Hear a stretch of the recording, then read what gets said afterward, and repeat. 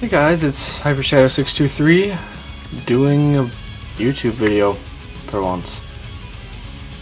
Yeah, it's been almost a year since I posted the last video, which was my was that my MOC anniversary video, which is coming up when I'm recording this in about two months. Sad thing is, I have school that day. First day of school is that day, so that'll be fun. Anyway, that's not what we're here to talk about. I've decided to do a review of a very recently made MOC, only about three, four days old, maybe five.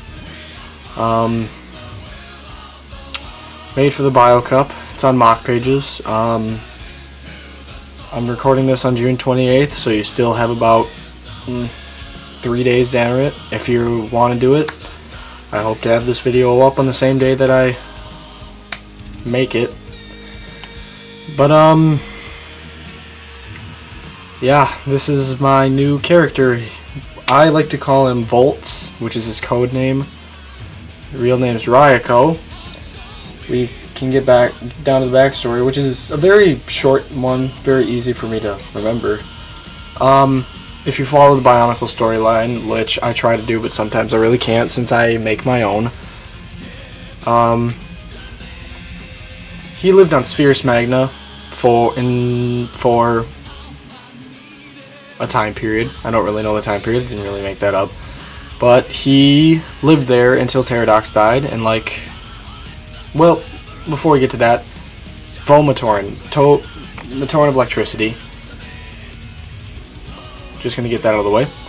Um, he was a Vo-Matoran, very special one because he's one of the only males Vo-Matoran to ever live, and he doesn't have control of blue or white lightning. He controls green, and he also doesn't have the traditional color scheme of Vo-Matoran. He Vo-Matoran have white and blue color schemes, while he has a Keetorange and blue.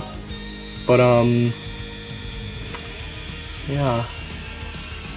Well, when all when Teridax died on Spherus Magna during the fight with Mata Nui, after that all of Vo-Matoran fled Spherus Magna for some reason. I can't really remember the reason, if there was a reason. And he was one of them that fled. And he ended up on on Fieldus Magna in the newer days of the Makuta Toa War, which was basically what was happening on Spherus Magna, just on Fieldus Magna. It's not going to end because basically Atukum is the Teridax of the planet. Um, Raiko did not have a nickname until he hit the planet. Everyone started calling him Voltz because not many people actually know who he is, but they know of the crimes and people he has saved, but they don't really recognize him. And from his electricity powers, and they just called him Voltz. He doesn't like to be seen. He likes to do his crimes, or he likes to save crimes outside of knowing if that makes any sense. But, um, he is a Toa of electricity. The Toa know of his presence, they know who he is. I think they're the only people that know who he is. But he has not joined the team, and he does not plan on doing it anytime soon. I thought about making a secondary Toa team and him as a leader or a member, but seeing as I don't know how I'd go about that, I might not do that. I might. We'll see what happens. That's not what we're here to talk about. We're here to talk about Voltz. So, getting on with the backstory, having it done, we shall get on with the MOC itself.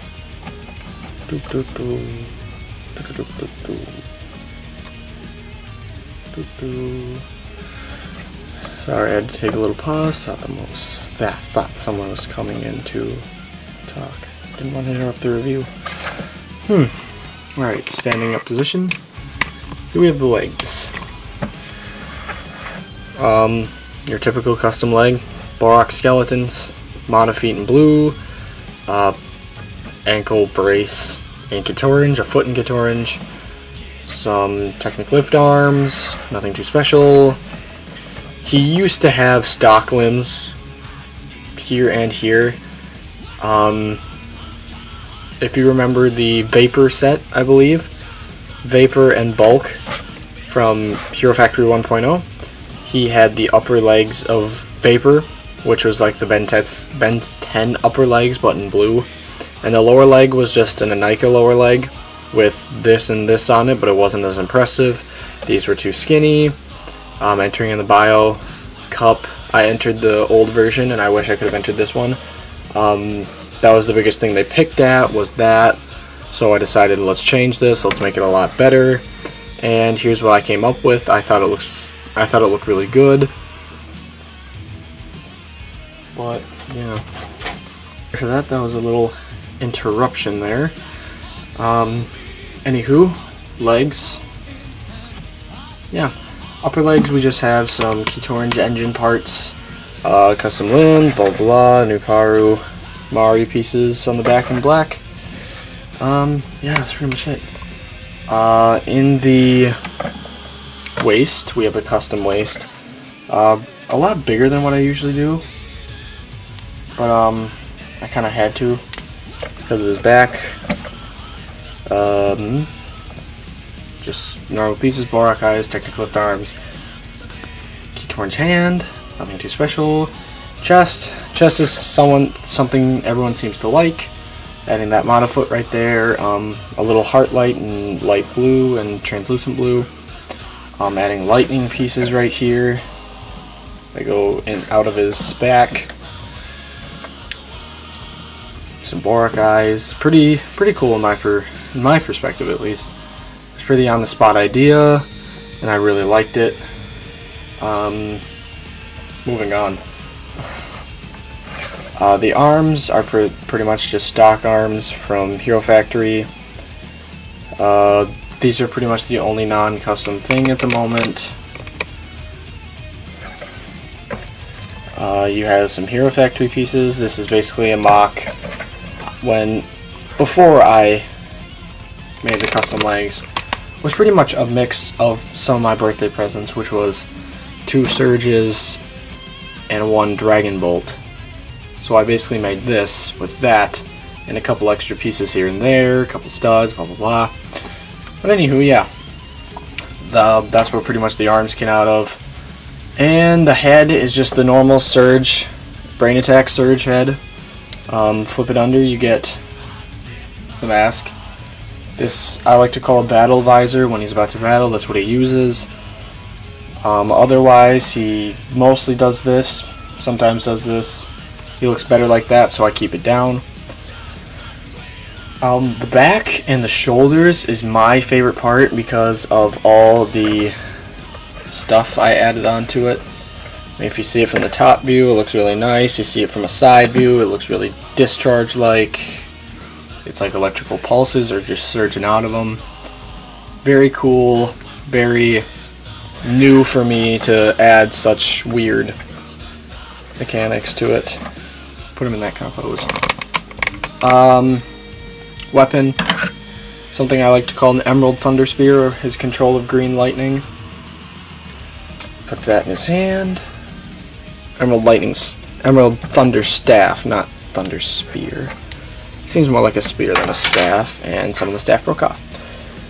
But, you know, you do with what you get. And that is what it looks like. Very, it's not too big, but it's kind of big on the end. I like it a lot though. I'm sorry, that was my final interruption. People seem to really want to talk to me. Hallelujah. Um, like I said, this is his weapon. Emerald Thunder Staff, not Spear. Entry to my 2013 Bio Cup, which is my first Bio Cup for anyone who really cares. Um, probably not a lot of people watching this since I kind of died a year ago. Not on MOC pages though. I seem to be posting there a lot more. Not much is there, but I've been posting a lot more. Um, a size comparison with Protosuit Mark II. If anyone follows me on MOC pages, then you would know the Protosuit Mark I, Dexter in the Protosuit. Here's a size comparison. Um, he is significantly taller. He used to be the same height as someone, or they used to be the same height as him. but not anymore since of the new legs. Um, there's a lot of ums in this review.